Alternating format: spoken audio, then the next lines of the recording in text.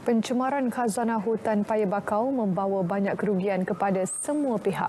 Usaha untuk memulihkan semula ekosistem kehidupan di pesisir pantai hutan paya bakau bukan satu perkara yang mudah untuk dicapai dalam masa yang singkat. Sempena Hari Hutan Antarabangsa yang akan disambut esok, kita ikuti laporan khas wartawan Azri Ahmad Mustafa Hadi. Kerosakan ekosistem hutan paya bakau mengakibatkan terhakisnya biodiversity dan kelestarian alam semula jadi serta mengakibatkan kerugian aspek ekonomi. Keadaan ini disebabkan hutan tersebut menjadi tempat hidupan laut membiak seperti ikan dan udang yang menjadi sumber tangkapan utama nelayan-nelayan di kawasan tersebut. Hutan Paya Bakau adalah khazanah semula jadi yang juga menyediakan habitat bagi ribuan spesies untuk semua peringkat jaringan makanan laut. Di kawasan hutan Paya Laut ni atau hutan bakau ni merupakan satu ekosistem yang penting kepada hidupan marin. Uh, di mana dari segi uh, di situlah adanya pembiakan udang, ikan dan hidupan-hidupan laut yang lain.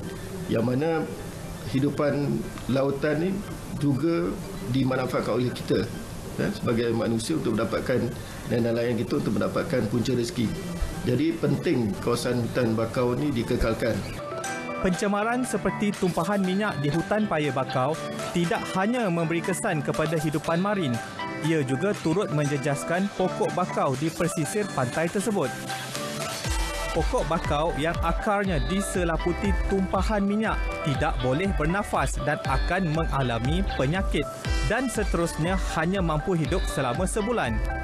Penanaman semula pokok di kawasan tercemar tidak akan berhasil selama beberapa tahun kerana kesan tumpahan minyak di kawasan itu sudah meresap jauh ke dalam bumi.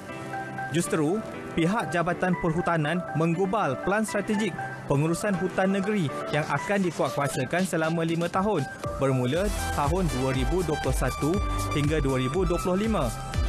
Kerja ini memang susah kerana kita perlu membersihkan kawasan tumpah minyak tersebut sebelum kita dapat memulih menanamkan pokok yang pokok yang baru.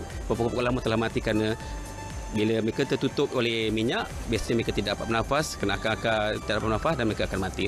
Jadi sebenarnya membersihkan itu lagi banyak kos yang kita perlu gunakan.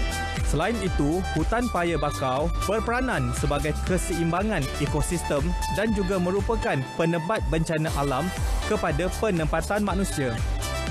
Kawasan-kawasan pantai negara yang mempunyai dirian bakau kebanyakannya terselamat ya penduduk-penduduk yang duduk di belakang kawasan uh, hutan bakau ni uh, terselamat daripada bencana tsunami.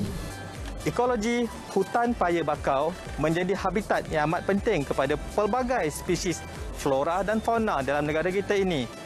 Sebagai rakyat Malaysia yang bertanggungjawab, laporkan aktiviti pencemaran hutan paya bakau seperti tumpahan minyak kerana tempat ini menjadi tempat tinggal mereka. Jangan zalimi spesies flora dan fauna di hutan paya bakau. Azri Ahmad Musa Fahdi, Berita RTM.